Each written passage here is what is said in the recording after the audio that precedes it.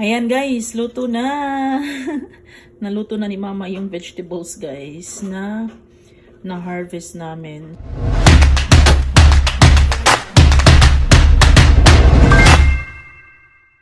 Harvest time! Look guys! Harvest! Alugbati! Nagluto kami ng ano guys, gulay. Uh, we called it utan. Utan Bisaya. Yan. Yung alugbati. Yay! And yung kamatis hindi pa pwede kasi maliit pa sila guys eh. Yan. So alugbati and ano pa ma? Nagbati. Yung kangkong and talbos ng kamote and then yung lemongrass. So lilipat kami dun sa kabila. Dito na naman kami guys. Ayan. Hold on ma. Okay. Then, alugbati. Kailangan din tungkunan sa top part guys para maano din siya. Um, dadami pa yung ano, yung mga dahon niya. Yan. Yan din yung parang picnic. Yan. Yan. Yes. Wow. Yes.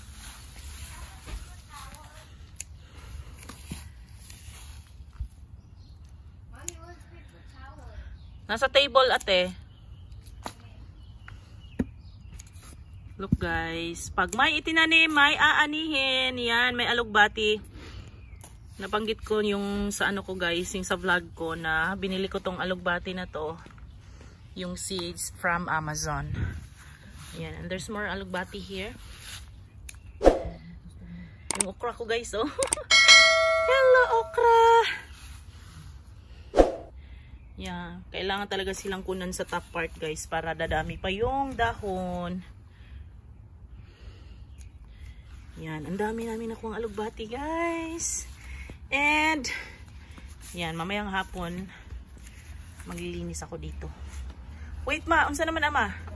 Alugbati, alugbati, okay. There's more alugbati there guys. Natawa ko sa ano ko guys, o yung gabi ko. Lumaki yung gabi ko. Fresh alugbati. Yan guys, talbos ng kamote. So, later guys, I have to clean up. Ayan. Ma, there's more ma. Oh, no, nagkatay. Yeah. That one. Dun sa likod din, meron. Yan guys. Talbos ng kamuti. Yay! Yeah, so yan din yung technique guys. In order for them to ano, grow more, kailangan talaga silang kunan. Yan, you have to cut the ano, part kung saan ano na siya. Yan. Chiden.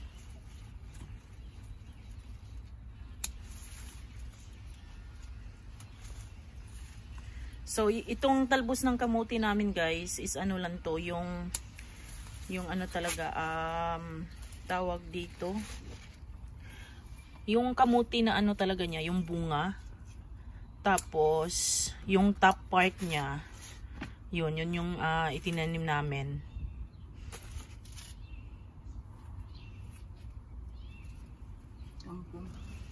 Okay, next, yung kangkong. Wow, ang kangkong ano din, mamataba din yung kangkong. Look guys, yung kangkong. Yan, ano ko i-zoom ko para ano. Yan, kangkong. Malayo kasi si mama kasi ano, yung space is masyadong masikip pag pumunta pa ako doon. Okay, hold on ma. Okay, show me. Yan, look guys! So, may three different kinds ng na vegetables nandito. Kangkong, talbos ng kamote, and yung alugbati sa ilalim. Papakita namin mamaya lahat yung mga harvest namin. Yan. Kangkong pa rin yung hinarvest ni mama. O, diba guys? Pag may itinanim, may aanihin. So, madali lang guys pag may backyard kayo, try nyo din. Yung itong kangkong guys, ang ginawa ko dito, yung stock niya, bumili kami sa, sa tindahan, sa Asian store ng kangkong. Tapos, kung ano yung matigas na part na stock niya guys, yun yung itinanim ko. And then look. Wow. Oh, hold on ma. Bring the ano ma. Ah, tangad. Hmm. Ah, okay. Sige, diha na lang. I was gonna ask you to bring the, yan, lemongrass guys. Na. Lemongrass. Apply mo. Yeah. Tangad. We call it tangad sa amin guys, sa Cebu. Yay!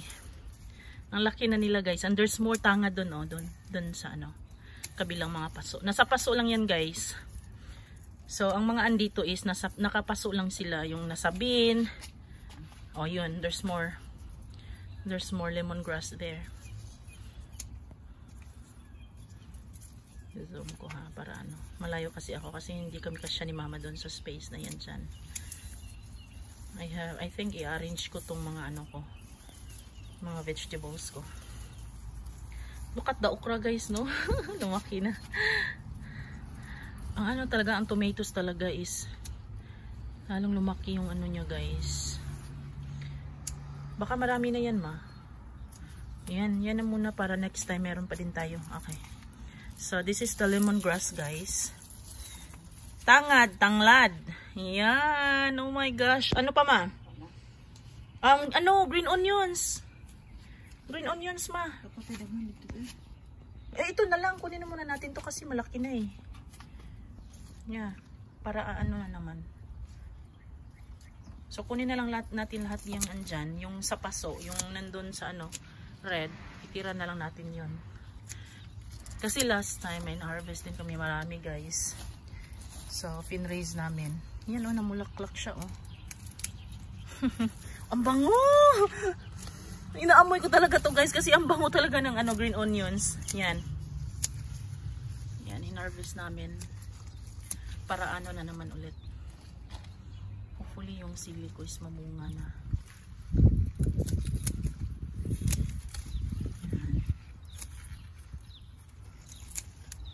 Yung talbos ng kamuti. yung talbos ng kamuti, doon siya eh. Tapos naglipat ako Jan 1. Yung isang ano talbos ng kamuti para ano mas scattered sila.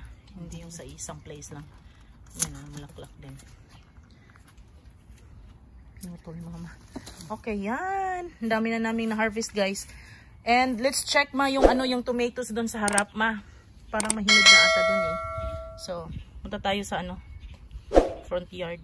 So, ayan guys. Ha? Yung ano ma, uh, isa lang yung hinog? Isa lang yung hinog pala guys. Kahit ano lang ma, 4 or 3. Yung hinog yung ano na. So, ayan guys, may nakuha kaming apat and there's more left there. Hindi pa kasi siya masyadong ano eh, yung malaki.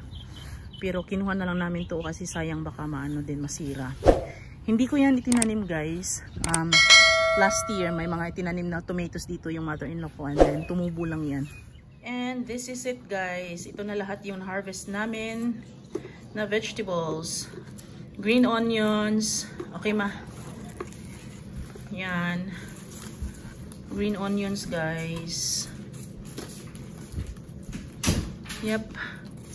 And lemongrass. Tangad. Yan. Tanglad lemongrass. Yan, lemongrass guys. Oh. Ang bango. And kangkong.